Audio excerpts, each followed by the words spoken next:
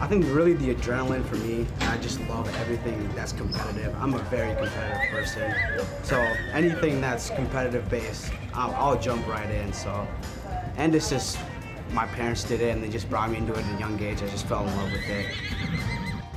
Like most kids surrounding rodeo, Donovan Rose of Volga fell in love with the sport at a young age. But his story has a unique beginning.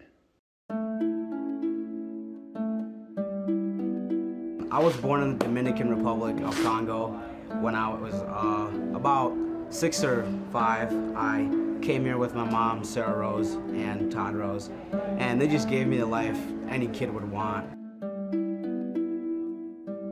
We have our older son, Hunter, who was probably five or six years old at the time, and we just thought about we would like to have more children, and but we weren't quite certain if we wanted to have another a baby, right? We were thinking that it would be exciting to have a family and we thought where would be the greatest need for children and so one of the greatest needs for children at that time was um, in Africa in the Democratic Republic of Congo.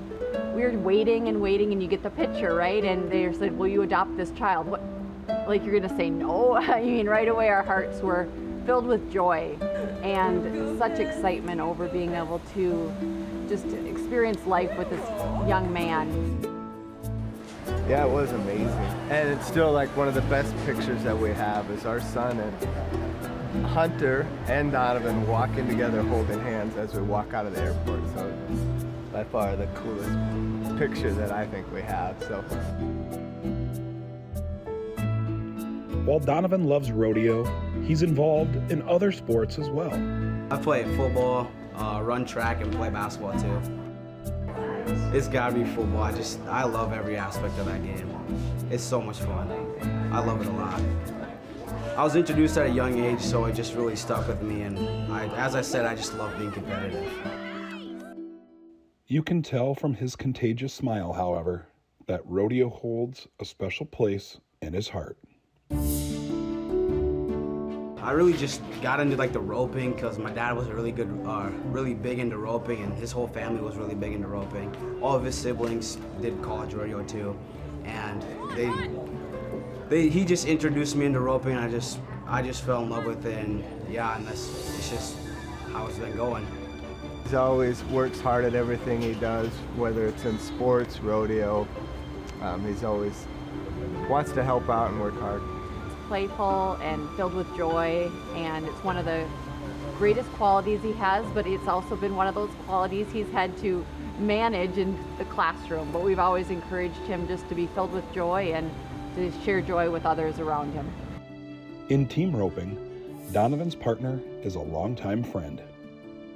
His name is Sutton Bundy. He's from Colman, South Dakota, and it started off in junior high, and where we junior high rodeo together. We we didn't do it the whole time, but one of his partners was gone, so I had hopped in for him, and we just been partners ever since.